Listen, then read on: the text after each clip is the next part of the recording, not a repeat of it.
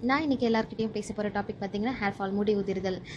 என்னென்ன காரணங்கள் என்னென்ன ஆயுர்வேதில் என்னென்ன டிப்ஸ் சொல்லியிருக்காங்க அது மாதிரி என்னென்ன ஃபுட் ஐட்டம்ஸ் எடுத்துக்கலாம் அப்படின்னு சொல்லியிருக்காங்க மெயின்லி தினசரி பராமரிப்புகள் என்னென்ன சொல்லியிருக்காங்கன்றதை இந்த வீடியோவில் நான் சொல்ல போகிறேன் ஸோ ஃபர்ஸ்ட் திங் தோஷங்கள் சமநிலையில் இல்லாமல் இருக்கிறத வந்துட்டு ஒரு நோய் காரண காரணமாக ஆயுர்வேதத்தில் சொல்லியிருக்காங்க. ஸோ இதில் வாதம் பித்தம் கஃபம் சொல்லிட்டு மூன்று தோஷங்கள் இருக்குது. ஸோ அந்த மூணு தோஷத்தில் எந்த தோஷம் அதிகமாகவும் கம்மியாகவும் இருக்கோ அப்போ தான் வந்து ஒரு நோய் வந்து வரும்னு சொல்லியிருக்காங்க. ஸோ இதில் வந்து ஹேர் ஃபாலுக்கு பார்த்தீங்கன்னா ஹேர் ஃபாலுக்கு பித்த தோஷம் அதிகமாக இருக்கும். பித்த தோஷம் அதிகமாக இருக்கும்போது ஹேர் ஃபால் வந்து ஓவராக இருக்கும். மேலும் பார்த்தீங்கன்னா ஹேர் ஃபாலோட பேட்டர்ன் வந்து டிஃப்ரெண்ட்டாக இருக்கும். மேல் பேட்டர்ன் பார்த்தீங்கன்னா அவங்களுக்கு வந்துட்டு ஃபஸ்ட்டு ஹேர் லைன்லேருந்து ஹேர் ஃபால் இருக்கும்.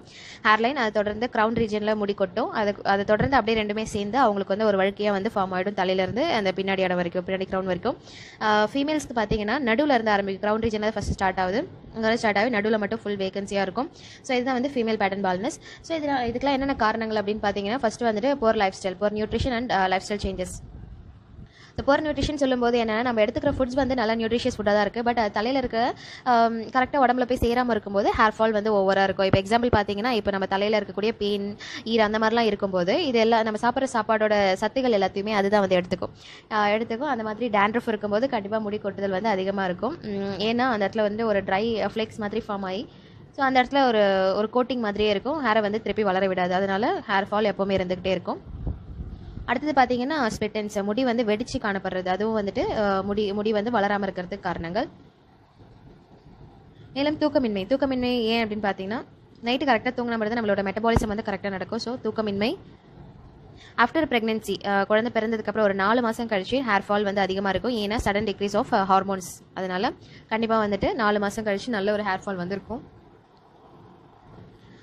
மனச்சோர்வு.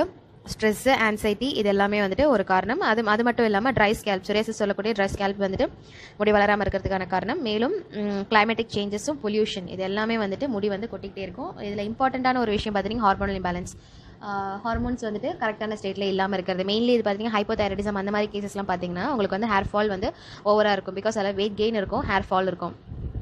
ஸோ இதுக்கெல்லாம் வந்துட்டு கரெக்டான ஹார்மோன் ட்ரீட்மெண்ட்ஸ் எடுத்தால் மட்டும்தான் ஹேர் க்ரோத் வந்து கரெக்டாக இருக்கும். And anemia okay so diet என்னென்ன சொல்லியிருக்காங்க ஆயுர்வேத டயட் என்ன சொல்லியிருக்காங்க அப்படின்னு பார்த்தீங்கன்னா ஸோ ஆயுர்வேதில் மெயினாக போன்ஸோட ஒரு பை ப்ராடக்டாக தான் வந்துட்டு நக நம்மளோட நகத்தையும் நம்மளோட முடியையும் வந்துட்டு போன்ஸோட பை ப்ராடக்டாக சொல்லியிருக்காங்க ஸோ அப்போ என்னென்னா இதுக்கு வந்துட்டு கால்சியம் சப்ளிமெண்ட் ரொம்ப ரொம்ப முக்கியம். ஸோ அதுக்கான ஒரு ஃபுட் ப்ராடக்ட்ஸ் தான் பார்த்தீங்கன்னா சிசம் சீட்ஸ் எள்ளு.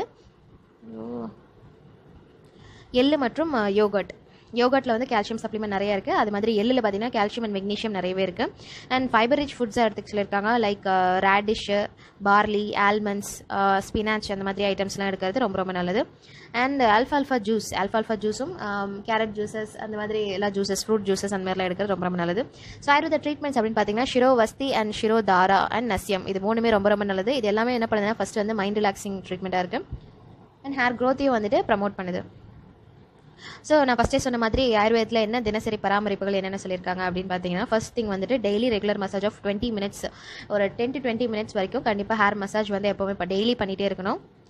அண்ட் ஈரமாக இருக்கும்போது தலையில் சீப்பு வச்சு சீவவே கூடாது. அது ஃபஸ்ட்டு ஃபஸ்ட்டு அவாய்ட் பண்ண வேண்டிய ஒரு விஷயம். எப்போவுமே ஹைட்ரேட்டடாக இருக்கணும். எப்போவுமே தண்ணி குடிச்சிட்டே தான் இருக்கணும். பாடியில் ஒரு ஒரு ஒரு நாளைக்கு நம்ம பாடியில் வந்து three to five litres of water வந்து தேவைப்படுது. ஸோ அந்த வாட்டர் நம்ம கரெக்டாக கொடுத்துட்டே இருந்தோம்னா பாடி வந்து எப்போ போல் கரெக்டான மெட்டபாலிசத்தோட கரெக்டாக நடக்க நடக்க ஆரம்பிச்சிடும். அப்படின்னும் போது நம்ம ஹேர் ஃபால் வந்து நம்மளுக்கு இருக்கவே இருக்காது.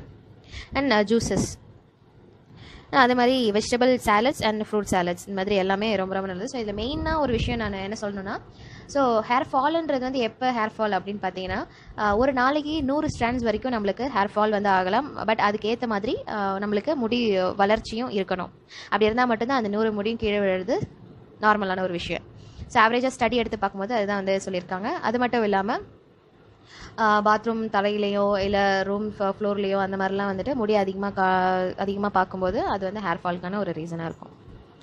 தேங்க்யூ